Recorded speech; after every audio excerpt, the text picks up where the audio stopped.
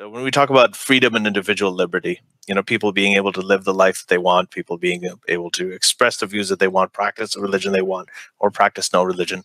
Um, what, how does that fit into? How do you look at freedom, that kind of freedom and liberty, as a value in um, the uh, the Islamic political system that you favor? I mean, I'm really skeptical of this idea of freedom and autonomy and liberty. I think these are concepts that have been critiqued to death within academia. My, my view is that liberty right. is a vacuous term. It has no meaning. Same with freedom, same with equality.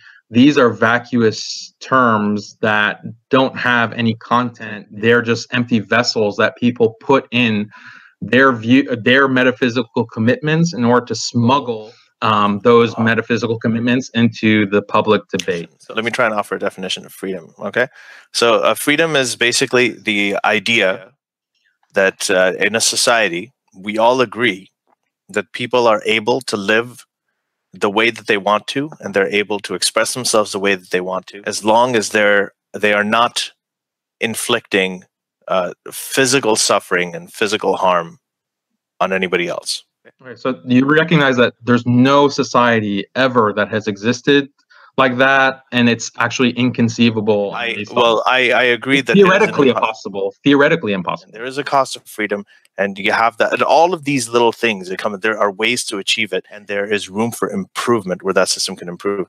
That, like that to me is a very specific definition of what freedom and individual liberty are. Secular Jihadists is an increasingly influential podcast with much of its growing audience in Muslim majority countries, advocating for atheists, secularists, and Enlightenment thinkers.